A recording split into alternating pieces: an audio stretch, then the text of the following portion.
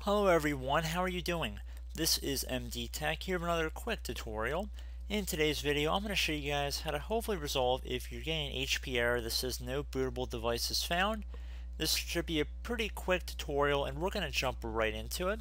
And the first thing I would recommend doing would be to, as your computer is turning on or shutting down, you want to repeatedly tap the escape key on your keyboard. So just keep tapping the escape key right after you turn your power on from the source. So just start tapping the escape key until you get to a boot menu that appears like this. And then using your down arrow key on your keyboard, you want to go down until you have the enter setup highlighted.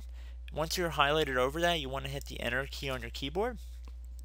And now using your left and right arrow keys to navigate, you want to go over until you get to the system configuration tab now I do not have one on this system because this came as a request from a user who had an HP computer and since I'm in a virtual environment I do have a few limitations as to what I can show in a video but from here we pretty much are halfway done and I'm going to just walk you guys verbally through what you have to do from here.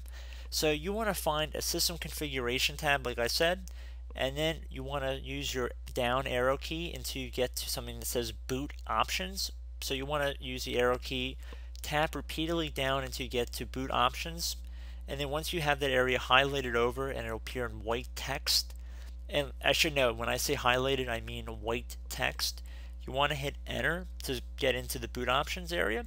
And keep in mind the boot options is not the original boot options we got to get into our BIOS. The boot options is another second boot options we're trying to get into.